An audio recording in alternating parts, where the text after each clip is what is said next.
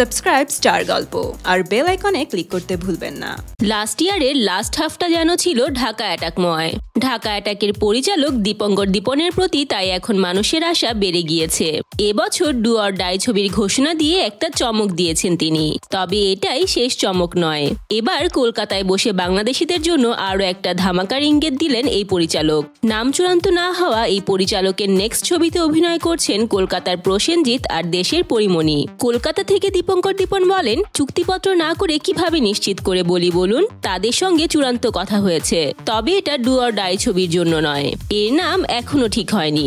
অন্যদিকে মহান মুক্তিযুদ্ধ চলাকালীন দুর্ধর্ষ বিমান হামলা, অপারেশন কিলো ফাইট নিয়ে দীপঙ্কর দীপন নির্মাণ করবেন তার নেক্সট ছবি ডু অর ডাই এর মাধ্যমে বাংলাদেশে প্রথমবারের মতন তৈরি হতে চলেছে এয়ারক্রাফট অপারেশন ভিত্তিক ছবি। এটি প্রযোজনা করেছে থ্রি হুইলার্স লিমিটেড ও মেইন স্কোয়ার কর্পোরেশন তো বন্ধুরা, দীপঙ্কর দীপনের পরিচালনায় পরিমণি আর প্রসেনজিৎকে একসাথে দেখতে আপনারা কতটা এক্সাইটেড কমেন্ট করে জানিয়ে দিন।